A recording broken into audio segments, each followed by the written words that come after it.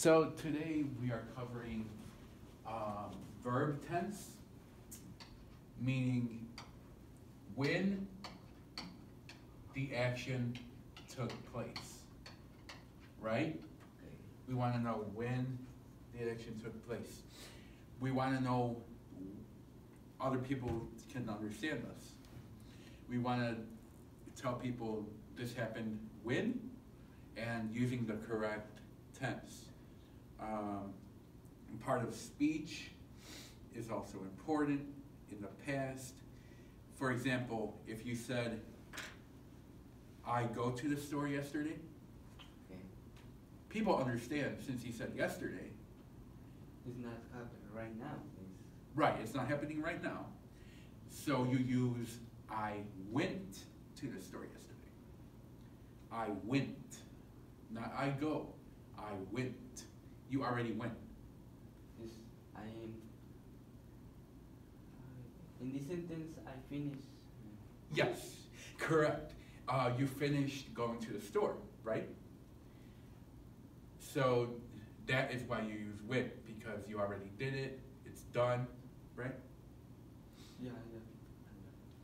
So now, if it has been snowing since yesterday evening, that means it has been snowing, it is continuing to snow, it's, it's not stopping, right?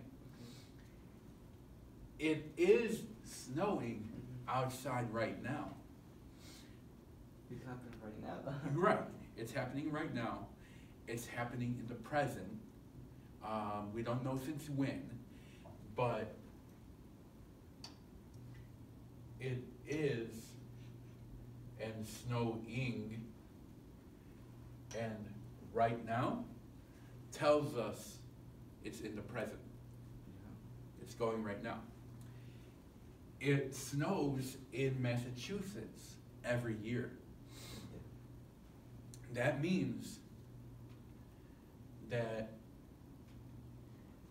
um, maybe in the future, and that it normally snows in Massachusetts. Um, every winter, we expect it to. We're telling it snows every winter. It's like it's in the present. Not it will snow in the future.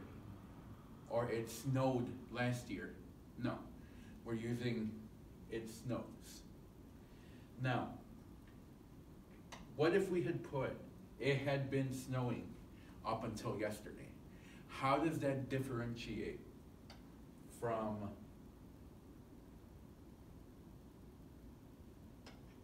this one? How are these different? It has been or it had been? Since and up until. yeah. Only one part. One part, Mhm. up until would be the? No. up until and since would be a key word, right? Or key phrase you would look for. Up until or since means up until yesterday morning and then it stopped. It had been snowing up until yesterday morning and then nothing. It has been snowing since yesterday evening. Is again, it's continuing. It hasn't stopped. We don't know if it stopped. Right. We don't know. So again, you want to tell when this happened.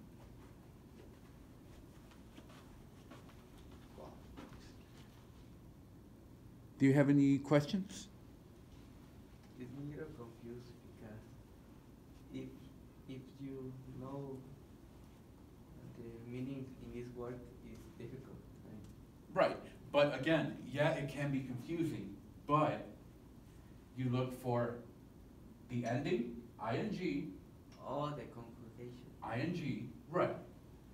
Outside right now, it is,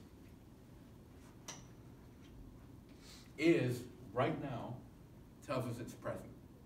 Brain, yeah. Mhm. Okay. Any other questions?